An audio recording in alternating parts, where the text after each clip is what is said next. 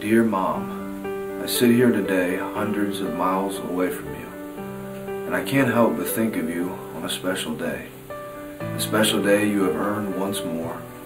Through all your years of life, of ups and downs, you stayed stronger in faith than any person that I have ever known. Mom, you're a great person, and that's why I love you. Almost 11 years ago, there were two innocent, well, let's just stick with two little children. They had no family to care for them. Then a man and a woman came into their life one day.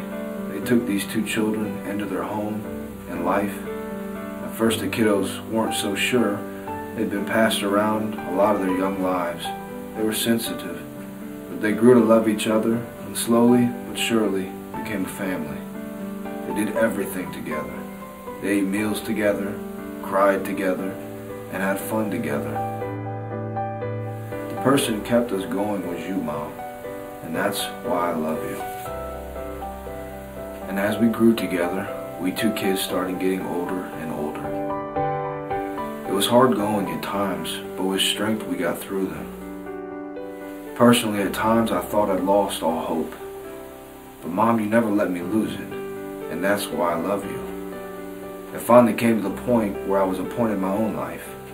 I had to learn to fend for myself. At first I failed. Boy did I fail. I managed to stay out of trouble, at times barely. I knew I could always call you, Mom. You would encourage me and pray for me. Then you would probably pray some more, and Mom, that's why I love you. Look where I am today.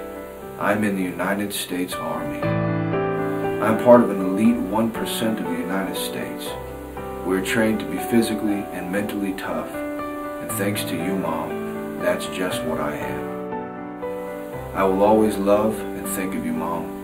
You are the person that made this possible for me. Love, your son, Michael Boling.